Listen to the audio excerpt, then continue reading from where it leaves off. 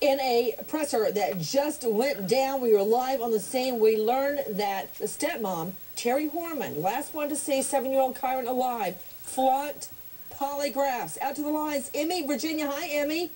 Hi, Nancy. I love your show, but I just want to know how can this woman lose a seven-year-old child? It's not like they're super small. It's not like they're a puppy.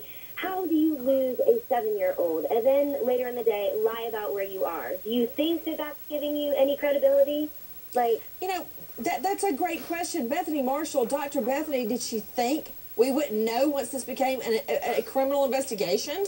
You know, Nancy, because you were a prosecutor, these criminals think like third graders. They have such shallow, shabby attempts to cover up their crimes and I suspect that there was a financial incentive somewhere. Maybe BioDad had a life insurance policy. Yeah, following on the heels of an alleged attempt to hire a hitman.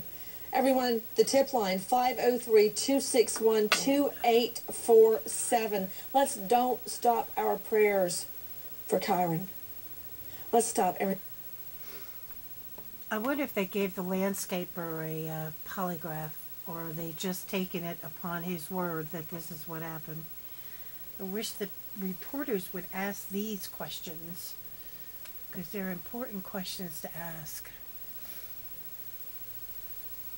Most of Nancy's show tonight was on Lindsay Lohan, just so everyone knows.